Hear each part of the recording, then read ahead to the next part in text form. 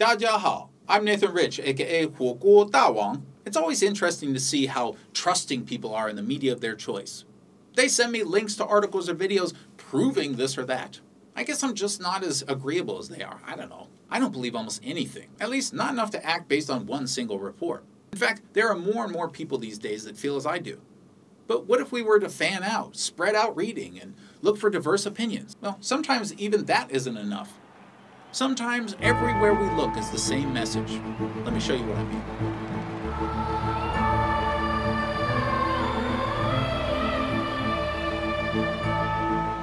I just want you to know something. Listen very, very carefully to the words that I say about Hong Kong. Ready? The city is bracing for another weekend of demonstrations. Okay? I find it very strange when people do trust the media so much, like I said. When you're like me, you have to search news day in and day out. People send me articles and videos, I research like crazy, and even I can't read it all. There's just too much information out there. But even though I can't see it all, I can find patterns. Let's examine a small, unimportant narrative about Hong Kong. Like I told you, the city is bracing for another weekend of demonstrations. Or at least that's what Nikkei.com said the city is bracing for another weekend of demonstrations. Well, maybe I don't trust Nikkei.com. I mean, I've never heard of Nikkei Asian Review before, so I'm going to check another site. How about the International Business Times? What do they say is going on with Hong Kong?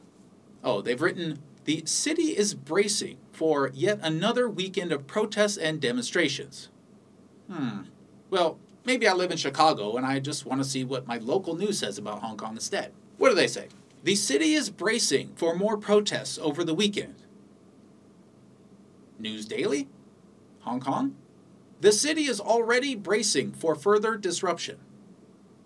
Okay, well, let, let, us get out of here. Let's just check a big news agency, CNBC. Tell me what's going on with Hong Kong. Hong Kong braces for weekend protests. What the hell?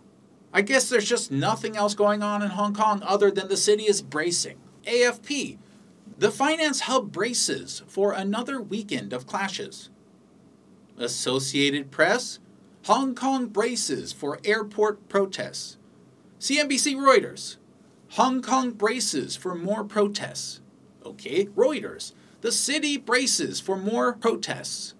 Braces, I get it. They're, they're bracing. Al Jazeera, Hong Kong braces for more demonstrations this weekend. Time. Hong Kong braces for another weekend of protests. The list goes on. Again and again, we find the same message. Is it laziness that causes reporters to copy each other? Is someone coordinating the message? Are these reports all just coincidences? They're all using the exact same word, brace. Is that coincidence too? Well, I'm not going to tell you what I think, but I do want to leave you with a very interesting and popular video I saw a while ago. This is a real compilation video Remember as you watch this, if you think anything funny is going on, it's because you are paranoid. The West is free. Democracy is real. Freedom of speech means you can finally feel free to trust the media. If you disagree with that, it's because you're brainwashed. There's nothing weird going on with this video. Got it? Hi, I'm Fox San Antonio's Jessica Headley. And I'm Ryan Wolf. Our, our greatest, greatest responsibility, responsibility, is to, to serve, serve our, our Treasure Valley communities, the El Paso Las Cruces communities, Eastern Iowa communities, Mid Michigan communities.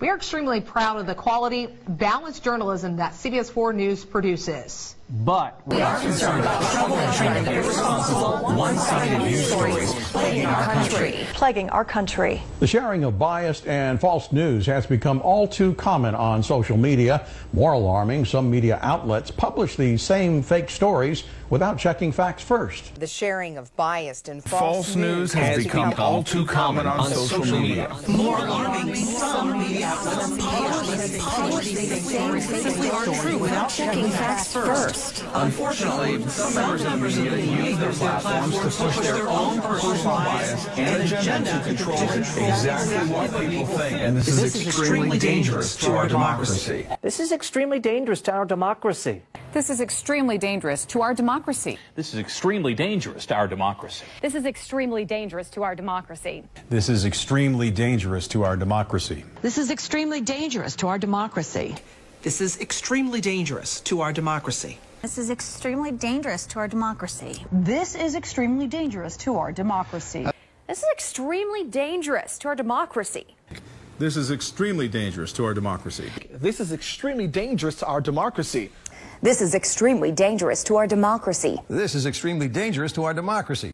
This is extremely dangerous to our democracy. So there you have it. Just a totally normal compilation of news reports. Coincidence, I guess, just like Hong Kong bracing for protests this weekend. I'll keep sifting through the articles and videos. This was just a quick video to show you what I think of when I see this from so many different news agencies. Even if you're getting the message of hate from many channels, remember, it's okay to love China. And that is just from me to you. Thanks everybody. See ya.